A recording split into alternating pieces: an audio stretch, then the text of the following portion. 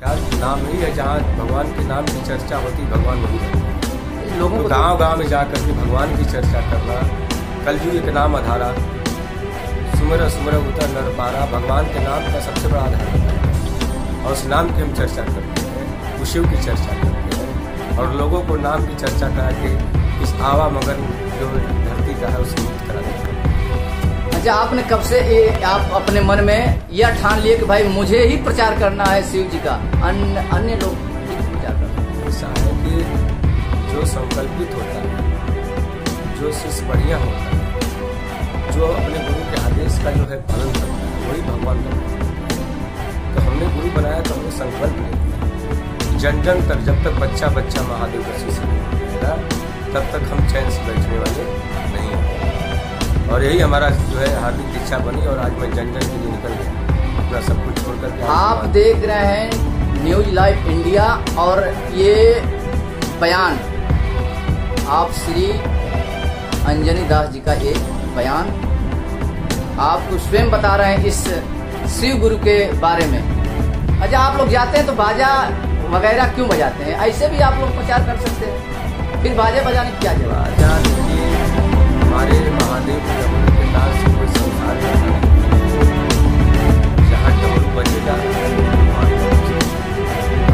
संगीत से हमारे महादेव इसलिए हमारा संगीत है। जब महाराज जी इस समय फिल्मी दुनिया चल रहा है। आप लोग फिल्मी दुनिया उस समय भी था का? जो आप बाजे प्र- नहीं नहीं नहीं फिल्मी दुनिया से कोई मतलब नहीं है। संगीत से मतलब। और संगीत हमारे महादेव का सबसे बड़ा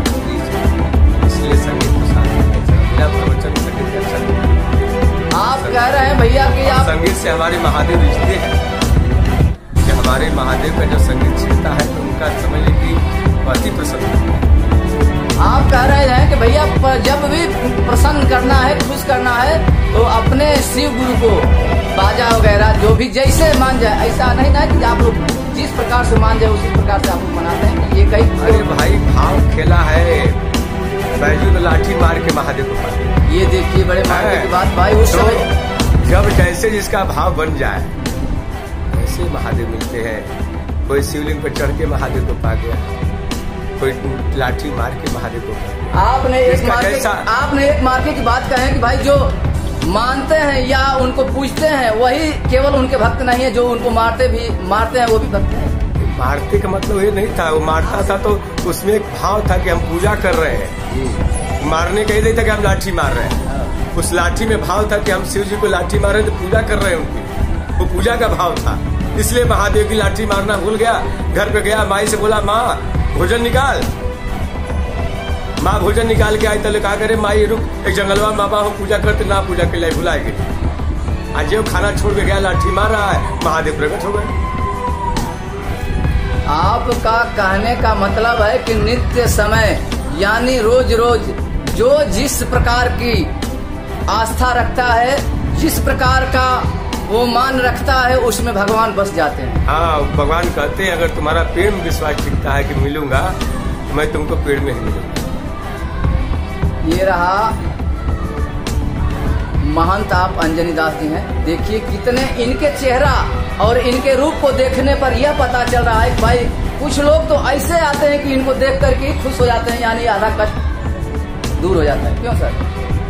क्योंकि जो सच्चा भक्त है भक्त को देख के भगवान का स्नेह जुटता है और हम लोग माध्यम है भगवान के पास पहुँचा हम लोग रिक्शा वाले हैं जो डॉक्टर के पास पहुंचाते हैं एक माध्यम है परमात्मा के पास पहुंचाते हैं आपका कहने का मतलब है कि भाई हम लोग एक माध्यम है हाँ। हम लोग केवल पहुंचाते हैं और वहाँ जो मानता है हाँ। और हाँ। जो मनाता है वह वहाँ की बात जाने लेकिन मेरा एक हम साधन है ये पहुँचाने का बस ये काम है प्रभु से लोगों को जोड़ना जो जुड़ेगा ट्रांसफार्मर से कनेक्शन करेगा पावर उसको मिल जाएगा। अरे कुछ महिलाएँ आपको ही भगवान मान जाती नहीं हम भगवान नहीं है। मानती हैं? हम नहीं मानते हम कहते हैं लोग भैया ज्ञान देते हैं गुरु के समान ना गुरु नहीं है। हम मालिक नहीं है हम चपरासी है। मालिक महादेव। आप बताते बगिया में फूल लगे हैं हम तो माली हैं मगर मालिक कोई और। अच्छा महाराज जी आपको अंजनी भाई भाई का क्यों दर्जा देते हैं आपको? क्योंकि लोग रा- इस जगत रक्षाबंधन के दिन हमने देखा है आपके तस्वीर तस्वीरों में आपके फ़ोटो पर। इतने कलाइया में राखी का एक ठो धागा है इसको लोग क्यों आपको भाई मानते हैं? आप तो इसलिए कि मैं शिव शिष्य हूँ और जगत में जितने लोग हैं शिव शिष्य हैं। यहाँ गुरु भाई बहन का नाता है। एक रिश्ता महादेव ने दिया है भाई और बहन का रिश्ता। और उस रिश्ता को कायम करते हुए आज लाखों बहनें हमारी कलाई पर राखी। ये पूर्वांचल पूरा मुझे भैया के नाम से विख्यात है। और सारे लोग भैया मुझे बोलते हैं। किसी बहन के पास भाई नहीं राखी बाँध करके अपने भाई को बनाने का जो है उनको जो है प्रेम मिलता है। वो रोने लगती है कहती आज हमको भैया मिल। गए आप बाँध जी का कहना है कि भाई जिनके पास भाई नहीं है जिनके पास भाई है नहीं है हम स्वयं भाई उनका बन बनने के लिए तैयार हैं और हर उनकी समस्या को काटने के लिए और उनके साथ साथ रहने के लिए आप तैयार हैं। इसी प्रकार का। इसी प्रकार हम तो जाते हैं यहाँ तक कि बहनों के बच्चियों की शादी में हम जाकर पानी तक पिलाए। हाँ उनके पास भाई नहीं है कहते हैं हमको पानी कौन पिलाएगा तो हम जाकर पानी भी पिलाए। अच्छा ये जो महाराज कह रहे हैं ये सत्य है कि? सत्य। कैसे सिद्ध कर दीजिए कैसे सत्य है? आपने बानी है कलाई में? जी हम भी अपने मैके नहीं जाते हैं भैया के पास आ जाते हैं। हाँ। ये देखिए एक महिला का बड़े मार्के की बात। आप सगे भाई नहीं है पर इनको खून का भाई नहीं लेकिन प्रेम का भाई मानते प्रेम का भाई है। प्रेम का भाई। हमको हर तरह से ताकते हुए भैया लगते हैं। हम्म। कुछ भी हमारा होता है तो भैया के पास आते हैं। ये देखिए कह रहे हैं कि भाई जो भी जो भी मुझे कष्ट जहाँ भी मायके हो या ससुरे हो जहाँ भी कष्ट होता है मैं स्वयं अपने भाई यानी अंजनी दास के पास पहुँचती आप- तो क्या नाम है आपका? था। कहाँ से आए हैं? महाराजगंज क्या अपने मन में ठान के आई हैं? क्या किस उल्लास से आई हैं? किस श्रद्धा से आई हैं? आने यहाँ आने का क्या तात्पर्य है? आप क्यों आई हैं? भगवान है। हाँ, हैं? हाँ, है यहाँ पे? कैसे जानते हैं भगवान? अरे है ना कैसे बताएँ? विश्वास है यहाँ। ये चैनल है। चैनल के माध्यम से आप बताएँ भगवान यहाँ हैं तो कैसे हैं? और कहाँ है भगवान? विश्वास है कि यहाँ है। ये देखिए, ये इनका बात भी सही है कि भाई जहाँ विश्वास है, वहीं भगवान है। यहाँ नहीं, कहीं अगर विश्वास करते हैं तो वहाँ भगवान प्रकट हो हैं। लोग का हो अच्छा इसी इसी जगह पर और इसी समय एक महिला महाराज जी की सेवा में, यानी इनके रेख देख में बैठी हैं बड़ी समयों से। हम पूछते हैं, माता जी, आप बड़ा समय से बैठी हैं। आप न कुछ कह रही हैं ना, ही कुछ सोच रहे हैं? क्या आपका बैठने का क्या कारण है? क्यों बैठी? हैं हमारा बैठने का ये कारण है कि हम लोग अपने भैया का हर पल मदद करने के प्रयास में रहते हैं। हम्म। आप भी भैया मान रहे हैं? मान रहे हैं और हम साथ में रहते हैं। अच्छा भैया के साथ आप भी प्रचार करते हैं? हुई है अब पहुँच गए हैं महिला को संरक्षण देने वाली यानी महिला को रेख देख करने वाली आप है महंत सैल दास उर्फ़ माता जी के नाम से जानी जाती हैं, हम इनसे पूछते हैं, आप लोग किस प्रकार की महिलाओं को संदेश देती हैं? जो महिला यहाँ आती हैं श्रद्धा से, आप लोग क्या बताते हैं कि श्रद्धा से कैसे रहा जाता है और जिसको माना जाता है, किस प्रकार की उनकी सेवा की जाती है? यहाँ जो कोई अपनी आस्था लेकर के आता है, आस्था से भगवान की पूजा करता है, उसी का मार्गदर्शन किया जाता है कि ये सब की पूजा इस तरीके से करिए, भगवान आपकी मनोकामना पूर्ण करेंगे और यहाँ बाकी कुछ नहीं होता। है मार्गदर्शन किया जाता है। कि ईश्वर का से गुरु का या अच्छा आपके बगल में ये महिलाएँ हैं उनका ये देखिए ये महिलाएँ आप के बगल में ऐसा क्यों कर रहे हैं? अब ये उनकी अपनी प्रॉब्लम होगा उसको हम नहीं बता सकते कि इसके ऊपर उनके ऊपर क्या है क्या नहीं है उनकी अपनी प्रॉब्लम ऐसा खेलना ऐसा चिल्लाना क्या लग रहा है? अब ये तो मान लीजिए वही महिलाएँ बता सकती हैं हम इसके बारे में क्या बता सकते हैं? हमको तो कुछ आता नहीं। आए दिन आपके पास ये सब समस्या आती है तो हाँ हाँ समस्याएँ आए दिन आती हैं अपना बैठती हैं गुरु महाराज उनकी मनोकामना अपना प्रॉब्लम सुनते हैं गुरु महाराज उसका सॉल्व करते हैं हम लोग तो खाली मार्गदर्शन करते हैं। आप लोग केवल प्रचारक हैं? हाँ केवल प्रचारक है और उनका जो है भगवान का पूजा पाठ अच्छा भगवान का शिव गुरु का नाम लेकर के प्रचार करती हैं तो आपको कैसा लगता है? अच्छा लगता है बहुत सुंदर लगता है। एक एक आदमी भगवान की सेवा में लग रहा है पूजा कर रहा है, इससे बढ़कर और क्या है। पूरे संसार में संदेश देना है, पूरे संसार को जो है भक्तिमय करना है, यही बस हम लोगों का कार्य है। इस समय पहुँचे हैं गाजीपुर शिव गुरुधाम। यहाँ पे इस धाम की चर्चा है पूरे प्रदेश में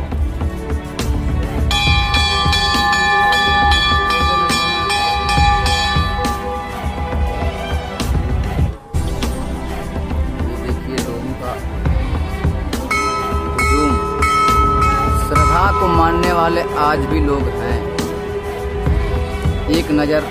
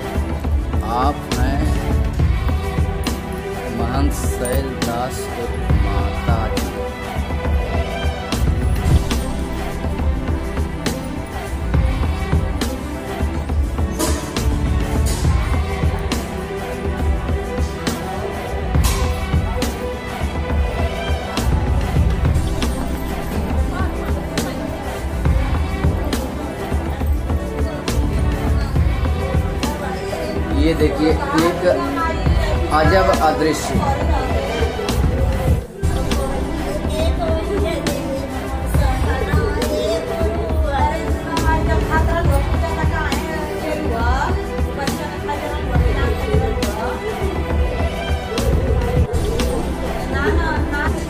ये देखिए भक्ति का विश्वास। आज भी लोगों द्वारा शक्ति को माना जा रहा है।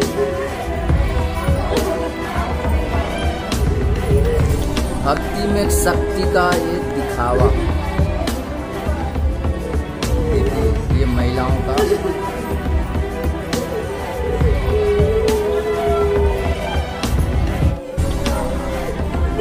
ये देखिए अद्भुत चमत्कार।